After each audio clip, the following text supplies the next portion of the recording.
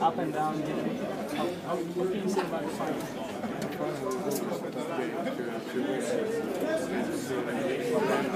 had a big difference. It was intense, big pressure all game.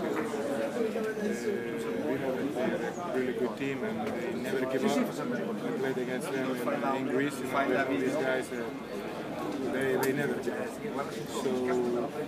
It was tactical game. Uh, they were ready for uh, for us, for our our big guys. Uh, they switching defense. we found the weapons. Uh, after the second quarter, we found the weapons how to solve this. When you were in, you were like so relaxed. It wasn't like a final game for you. You played first stop, you sang for three pointers. How did you feel about it? Didn't you feel any pressure? I don't know. When I see Olympiacos, there is no pressure. Okay.